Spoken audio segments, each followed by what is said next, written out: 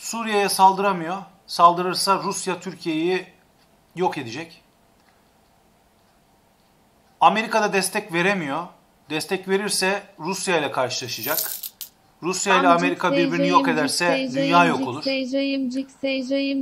Dolayısıyla biz galiba biraz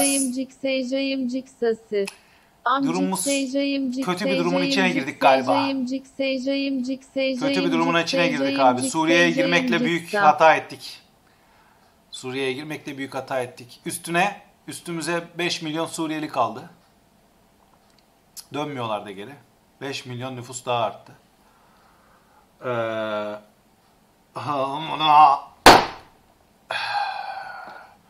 yani resmen biz kazığı yedik abi. Bana öyle geliyor. Resmen biz sıçtık abicim. Kazığı yedik gibime geliyor. Aynen öyle abicim. Ee, şimdi Türkiye Suriye'ye saldıramıyor korkusundan. Amerika'da e, Türkiye'yi savunamıyor korkusundan. Rusya'da e, Suriye ile ilişkileri var. Amerika ile kavga eder diye korkusundan yine Türkiye'yi savunamıyor. Bizimkiler de orada öyle girdiler. Şimdi de içeride sıkıştılar. Tahsil suncelerini merak Yani. ediyorum. Bu nasıl bir ortam? Ne nasıl bir ortam? Ne